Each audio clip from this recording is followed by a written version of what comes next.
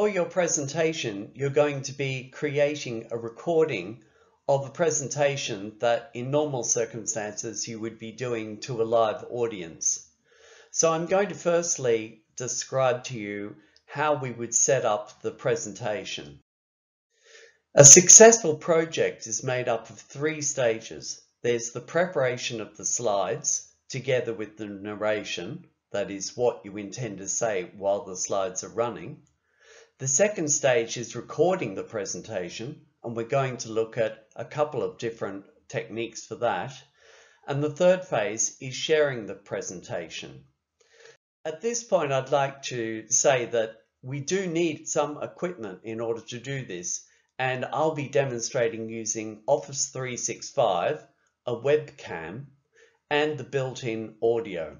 The webcam and the audio for this particular um, recording is actually built into my laptop.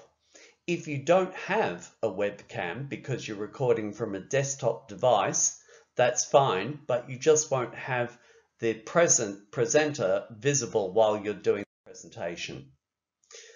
I'd also like to point out at this stage that there are lots of online resources available if your chosen preferred method of learning is to use um, written forms or other videos. Um, you can find lots within our UH library, and that's normally my first port of call.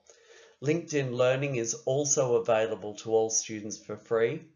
And of course, there are also YouTube videos available. Although I'd uh, like to issue a word of warning on the use of YouTube videos. They tend to be quite wordy, uh, be filled with advertisements, and they're not always the most appropriate for what you're trying to do.